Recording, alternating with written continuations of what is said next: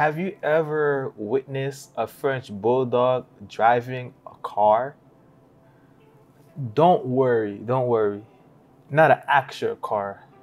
Like a, a toy car, like a car that fits toddlers. I never seen that before. Have you?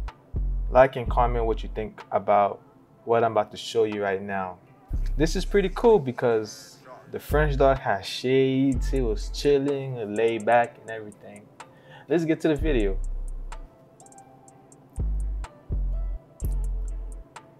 Oh, this kid looked very comfortable. In his mind, he's like, I trust this French bulldog. I trust my little Frenchie, but he's not gonna crash. Even though he don't got a license, he's still a great driver. Man, look at them shades. And he's driving a Benz, a red Benz. Man, I need to own a French bulldog. Next thing you know, you're gonna see one of these French bulldogs driving a motorcycle. Man, that's a nice car. Nice, shiny car. And it looks like he has a lot of wind in his face. But the French Bulldog, he's just chilling.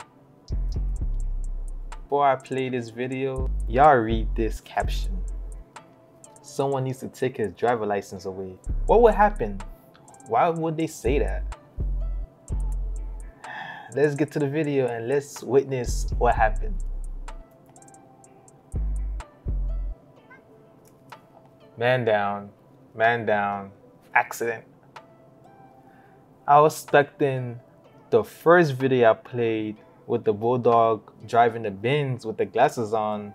I'm thinking he's gonna crash because he had something blocking his eye. But this French bulldog, it was no street. He wasn't outside, he was inside, and he crashed.